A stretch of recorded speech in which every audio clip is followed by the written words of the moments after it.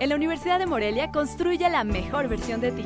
Estudia tu carrera en tres años en las áreas de la salud, humanidades, económico-administrativas, videojuegos y arte digital.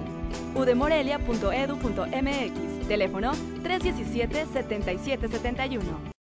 Con una inversión entre el municipio y el Estado superior a los 22 millones de pesos, este día fue inaugurada la obra de reposición de pavimento en la Avenida Periodismo en su primera etapa.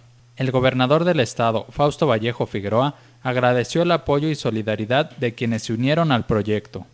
Pues son molestias temporales, pero obviamente con beneficios permanentes. Es que los felicito de Alvera.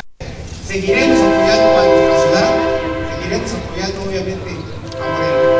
Y yo veo el entusiasmo de ustedes. No hay que bajar la guardia en la esperanza. Ténganos confianza.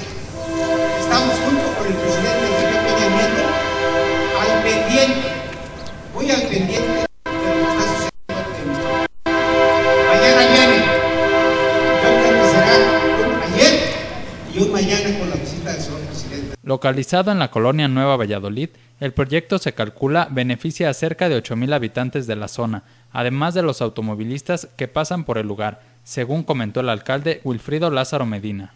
En estos días estamos los gobiernos recaudando, la gente que hace un gran esfuerzo de ir a pagar su predial, de ir a pagar sus servicios. Ese dinero, la verdad, es el que reunimos como las grandes bolsas del gobierno municipal, del Estado y de la Federación para que ese recurso, al mezclarlo, pueda rendir frutos. Entonces, cuando pagamos el predial, quiero que sepan ustedes que aquí está peso a peso el dinero de nuestra gente. Entre los trabajos se llevó a cabo la restitución de la red de drenaje pluvial con la colocación de rejillas y colocación de registros pluviales. Eh, se realizaron trabajos complementarios como son algunos reductores de velocidad,